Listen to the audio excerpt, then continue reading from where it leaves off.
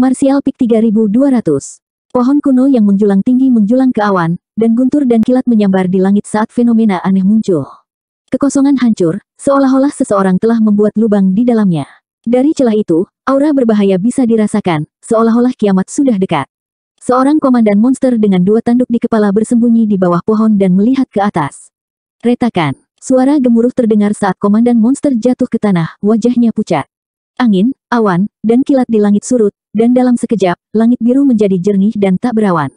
Ketika Komandan Monster melihat ke atas lagi, dia melihat sesosok muncul di langit pada waktu yang tidak diketahui, membuatnya terkejut. Ini adalah wilayah ras monster, dan sangat sedikit manusia yang berani memasuki tempat ini. Sebagian besar dari mereka yang berani masuk sudah mati, jadi dia sangat penasaran bagaimana orang ini bisa datang ke tempat ini. Melihat lebih dekat, dia samar-samar merasa bahwa orang ini agak akrab, seolah-olah dia pernah melihatnya di suatu tempat sebelumnya. Sebelum dia bisa mengetahuinya, ekspresi pria itu tiba-tiba berubah saat dia menutup matanya dan membuka tangannya, menyebabkan energi dunia melonjak ke arahnya. Ledakan. Gelombang kejut yang tak terlihat tiba-tiba meledak, berubah menjadi gelombang kejut yang terlihat yang menyapu radius 100 km. Dalam sekejap, pohon-pohon bergoyang dan berdesir. Mata Komandan Monster melebar saat dia merasakan aura bahwa pria ini bukanlah seseorang yang bisa dianggap enteng. Dia dengan cepat menahan napas dan diam-diam mundur. Dia hanya seorang komandan monster, hanya setara dengan seorang kultivator tahap Daosos manusia, tetapi manusia yang tiba-tiba muncul ini sebenarnya adalah seorang Master Realm Kaisar. Selain itu, sepertinya dia baru saja menerobos. Dia tidak tahu apakah dia adalah Kaisar Realm urutan kedua atau ketiga, tetapi sebagai komandan monster, dia bukan tandingan pria ini. Dia harus segera melaporkan masalah ini kepada Raja Besar dan membiarkan dia memutuskan. Hanya saja dia tidak mengerti mengapa orang ini tiba-tiba datang ke sini untuk menerobos. Apakah dia mencari kematian? Meskipun alam kaisar tidak lemah, ada banyak raja besar di sini yang lebih kuat darinya. Salah satu dari mereka akan dapat mengambil hatinya dan meminum darahnya seperti anggur. Tinggi di langit, Yang Kai merasa segar saat dia merasakan kekuatan yang sudah lama tidak dia rasakan beredar di sekujur tubuhnya. Dengan lambaian tangannya, dia bisa memindahkan gunung dan mengeringkan lautan, tidak mampu menekan kegembiraan di hatinya, dia mengeluarkan raungan panjang.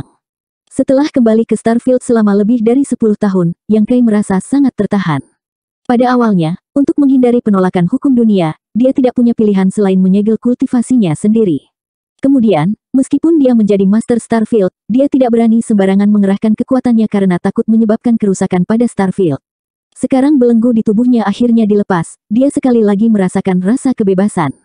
Selain itu, seperti yang dia duga, akumulasinya di Emperor Realm Orde pertama sudah sangat kaya. Begitu dia kembali ke batas bintang, kekuatannya secara alami menembus ke alam kaisar urutan kedua. Peningkatan kultivasi dan kekuatannya segera memberinya perasaan bebas. Saat raungan itu berangsur-angsur mereda, Yang Kai menyapu Divine Sense-nya ke sekelilingnya. Meskipun dia yakin dia telah kembali ke batas bintang, hal pertama yang perlu dia ketahui adalah di mana dia berada.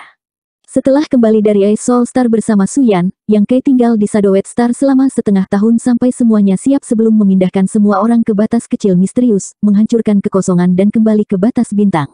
Prosesnya cukup lancar. Dengan kemampuan Starfield Master miliknya, tidak sulit baginya untuk menemukan jalan menuju Star Boundary. Bahkan, lorong itu telah ditinggalkan. Di masa depan, jika siapa pun di lapangan bintang Hang Luo memiliki kekuatan yang cukup, mereka dapat memasuki batas bintang melaluinya. Dengan melakukan itu, itu setara dengan menghubungkan kembali lapangan bintang Hang Luo dengan batas bintang. Di masa depan, para Master Hang Luo Starfield tidak perlu khawatir memiliki cukup kultivasi untuk bertahan hidup. Melihat sekeliling, Yang Kai melihat pohon-pohon kuno yang menjulang tinggi yang bahkan selusin orang tidak dapat memeluknya, memberinya rasa keakraban yang samar-samar. Lingkungan sekitarnya juga memancarkan aura kuno dan liar. Yang Kai tidak bisa menahan diri untuk tidak mengangkat alisnya, bertanya-tanya apakah itu suatu kebetulan bahwa dia telah tiba di tempat ini. Ketika dia berangkat dari Starfield ke Star Boundary, dia tidak dapat secara akurat menemukan tujuannya, sehingga saluran cahaya bintang yang dia gunakan dengan metode yang bagus untuk dibuka hanya dapat terhubung ke lokasi umum. 100 km jauhnya, seorang komandan monster bergegas menuju tempat tertentu.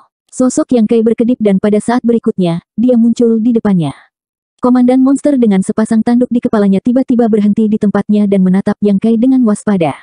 Apakah ini tanah kuno liar? Yang Kai bertanya. Komandan monster tidak dapat mengetahui asal-usul atau tujuan Yang Kai untuk saat ini dan merasa bahwa dia tidak cocok untuknya, jadi dia bekerja sama, itu benar.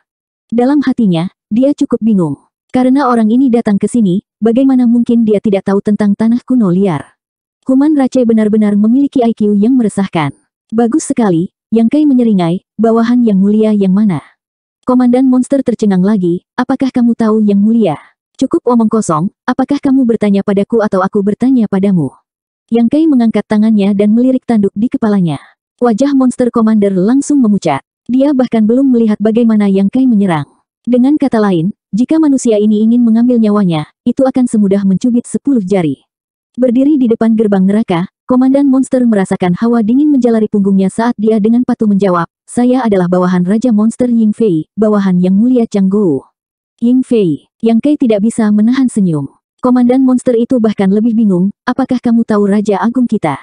Pada saat itu, ekspresi manusia ini menjadi jauh lebih ramah, dan karena dia memanggil nama Ying Fei secara langsung, mereka pasti saling mengenal. Ying Fei bertugas di bawahku, apakah menurutmu aku mengenalnya?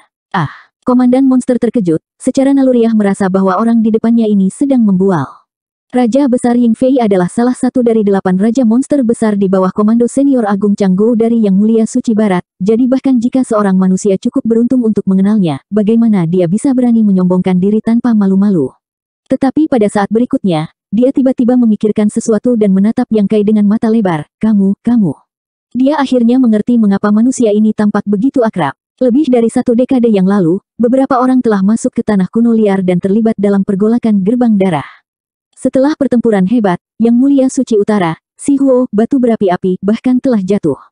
Sejak saat itu, empat Yang Mulia Suci dari tanah kuno liar menjadi tiga Yang Mulia. Dikatakan bahwa suatu hari, keturunan hukuman surga memasuki gerbang darah, dan ada seorang pria manusia yang memiliki hubungan dekat dengan keturunan hukuman surga. Bahkan tiga Yang Mulia Suci pun bersikap sopan padanya. Ketika dia meninggalkan tanah kuno liar, dia telah membawa tiga raja besar bersamanya, dan Ying Fei adalah salah satunya. Selama pertempuran saat itu, komandan monster ini juga menyaksikan dari kejauhan. Meskipun dia tidak bisa melihatnya dengan jelas, dia samar-samar bisa mengingat fitur fisik Yang Kai. Sekarang, dengan pengingat Yang Kai, ingatannya yang tersegel langsung terbuka. Siapa nama manusia itu? Oh benar. Komandan monster menangkupkan tinjunya dengan penuh semangat, jadi ini Tuan Yang. Kau mengenaliku? Yang Kai bertanya dengan penuh minat. Ada komandan monster yang tak terhitung jumlahnya di tanah kuno liar, tetapi dia tidak berharap ada orang yang mengenalinya. Kapan dia menjadi begitu terkenal di Wild Ancient Land? Ya, ya, saya cukup beruntung untuk mengagumi sikap Anggun Tuan dari jauh di tahun-tahun awal saya. Komandan monster bertanduk kembar sangat bersemangat, ekspresinya menjadi lebih menyanjung. Bagaimana mungkin dia tidak mengenalinya?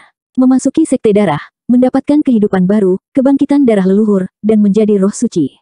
Ini adalah pepatah yang telah diturunkan sejak zaman kuno di tanah liar kuno, dan setiap anggota monster Rache akrab dengannya.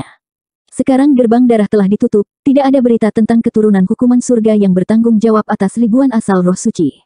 Tanah liar kuno sudah diketahui dengan baik bahwa jika seseorang ingin mengembalikan kemuliaan leluhur mereka dan berubah menjadi roh suci, manusia bernama Yang Kai akan menjadi kuncinya. Jika bukan karena ini, Bagaimana mungkin ketiga tuan besar, Si Lei, Ying Fei, dan Xie Wei, bersedia didorong olehnya. Mereka bahkan telah meninggalkan tanah kuno liar untuk melayani di bawahnya, semua demi posisi yang menguntungkan. Di antara 32 Raja Monster dari tanah kuno liar, hanya mereka bertiga yang memiliki nasib baik, dan 29 Raja Agung yang tersisa sangat iri pada mereka. Jika bukan karena penindasan tiga yang mulia, 29 Raja Besar pasti sudah meninggalkan tanah kuno liar untuk menemukan Yang Kai. Komandan monster tanduk kembar tidak pernah membayangkan bahwa kesempatan ini, yang bahkan tidak dapat ditemukan oleh 29 raja besar, akan tiba-tiba turun kepadanya. Berdiri di depannya bukanlah manusia biasa, itu adalah jalan pintas untuk menjadi roh suci dan mencapai puncaknya. Dia tiba-tiba mengungkapkan ekspresi air liur, menyebabkan Yang Kai merasa sedikit jijik. Dia mengambil beberapa langkah darinya dan berkata, karena kamu mengenaliku, itu mudah untuk ditangani. Saya memiliki sesuatu yang saya ingin kamu lakukan, saya ingin tahu apakah kamu punya waktu. Ya, ya, ya, jawab Komandan Monster bertanduk kembar. Karena dia telah bertemu dengan senior ini, dia secara alami harus memanfaatkan kesempatan ini. Bahkan jika dia tidak punya waktu, dia masih harus memerasnya. Senior, tolong beri tahu saya. Sudut mata yang Kai berkedut saat dia merasa ada yang salah dengan cara orang ini memandangnya, jadi dia tidak ingin membuang waktu lagi untuk berbicara dengannya, Alih-alih menginstruksikan, pergilah ke rumah Luan Feng Vermilion Bird Phoenix dan katakan padanya bahwa aku, Yang Kai, telah kembali. Utang sejak saat itu harus diselesaikan dengan benar, katakan padanya untuk bersiap. Petik 2. Utang. Hutang apa? Komandan monster tanduk kembar tampak bingung. Kenapa kamu banyak bertanya? Cepat dan pergi. Yang Kai menendangnya. Oh, komandan monster bertanduk kembar berbalik dan pergi, tetapi setelah beberapa langkah, dia tiba-tiba menyadari ada sesuatu yang salah. Jika dia pergi sekarang, bukankah dia akan melewatkan kesempatan untuk mendekat? Dia dengan cepat berbalik, tetapi tidak ada siapa pun di belakangnya.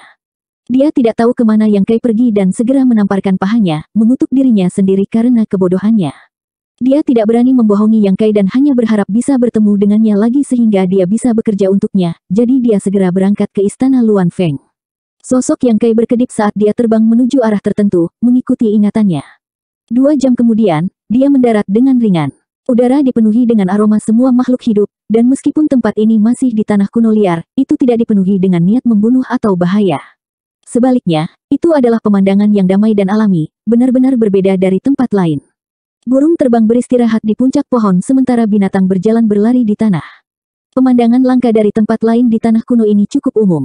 Seolah-olah ada semacam kekuatan tak terlihat yang melindungi tanah ini, memungkinkan 10.000 kilometer di sekitarnya untuk menghindari bencana. Saat angin bertiup, ombak pohon naik dan turun, seolah-olah mereka berbisik di antara mereka sendiri. Satu persatu, sosok kecil seukuran telapak tangan tiba-tiba terbang keluar dari balik pepohonan, masing-masing memancarkan aura atribut kayu murni. Roh kayu,